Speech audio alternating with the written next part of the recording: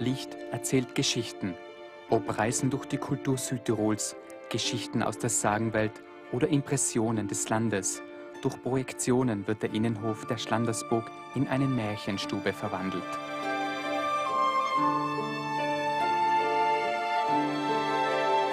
In diesen Tagen wird auch die Fassade von Schloss Goldrhein neu bemalt.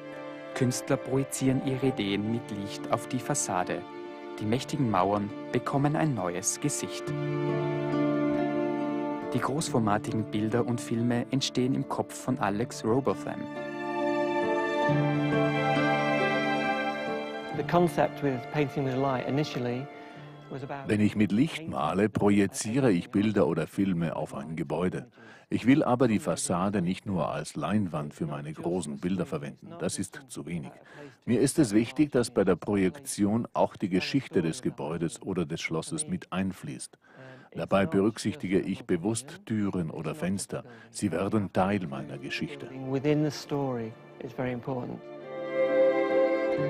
Und das internationale Multivision Festival beeindruckt allerdings nicht nur mit großformatigen 2D-Projektionen. Mit Hilfe von speziellen Filtern und 3D-Brillen wird die Leinwand zum dreidimensionalen Raum, der K2 zum Greifen nahe. Ein technischer Trick macht's möglich.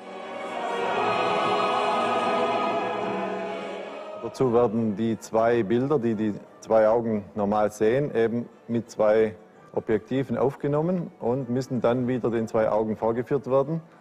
Das Problem dabei, dass wir ja dann zwei Bilder auf der Leinwand haben und deshalb müssen die 3D-Brillen und eben entsprechende Filter vor den Geräten der Wiedergabe eingesetzt werden, um jeweils das falsche Bild auszublenden, dass jedes Auge sein Bild sieht.